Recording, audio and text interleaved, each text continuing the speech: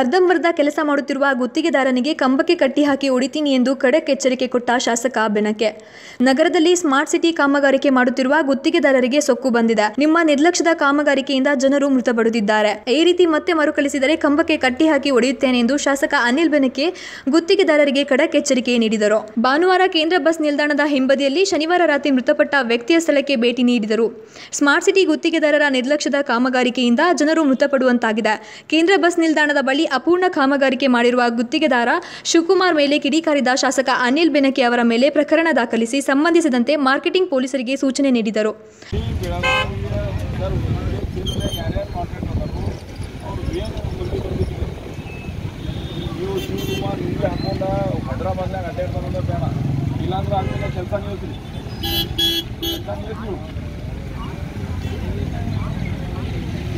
ಈಗ ನಿಮ್ಮ ಬಿಡ್ತೇವೆ ಕಂಬ ಕಟ್ಟು ಬಿಡ್ತೇವೆ ನಾ ಆರ್ಡರ್ ಯೂಸ್ करते ಅವ್ನು ಶಿವಕುಮಾರ್ ಅಂತ ಇನ್ನೊಂದು ಯಾವ ಅಂತ ಹೇಳ್ತೀರಿ ಇನ್ನೂ ಮೂರ್ತಿ ನೋಡಿ ನಾವು ಬೆಳಗಾವಿ ಅವ್ನು ಎಲ್ಲ ರೊಕ್ಕ ಒಯ್ತೀರಿ ಟೆಂಡರ್ ಪಾಸ್ ಮಾಡ್ಕೊಂಡು ಎಲ್ಲ ರೊಕ್ಕ ಚೆಕ್ ಒಯ್ಯಾಕ ಬರ್ತೀನಿಲ್ಲ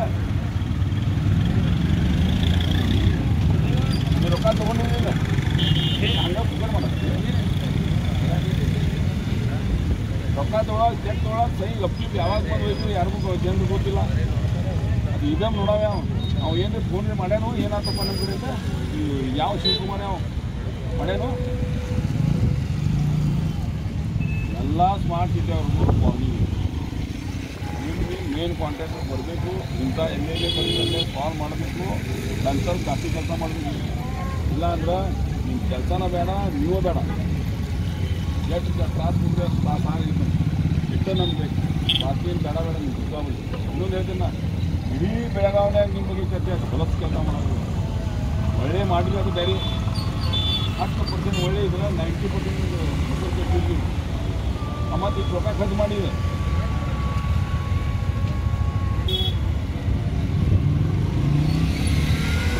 ಬಟ್ ಹಟ್ಟುದು ಹೋಗುದು ಹಟ್ಟುದು ಹೋಗುದು ಹಟ್ಟಿದ್ರೆ ಇದು ಮಾಡುದು ಸತ್ಯ ನೋಡಿ ಬರ್ತಾ ತಗೋ ನಾವು ಇಟ್ಟು ನಾನು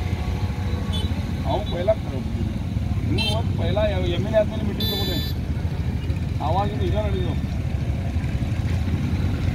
ಬರೋಣ ನಮ್ಗೆಲ್ಲರೂ ಇತ್ತು ಅವ್ರು ಕಾಂಟ್ರಾಕ್ಟ್ ಕೆಲಸ ಮಾಡೋಕೆ ಅವಕಾಶ ಇಲ್ಲ ಇಲ್ಲ